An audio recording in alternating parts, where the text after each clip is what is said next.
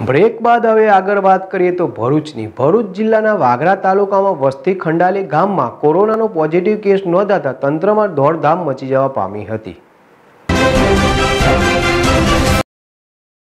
ભરૂચ જિલ્લાના વાગરા તાલુકાના વસ્તી ખંડાલી ગામમાં કોરોના પોઝિટિવ કેસ નોંધાતા તંત્રમાં દોડધામ મચી જવા પામી હતી.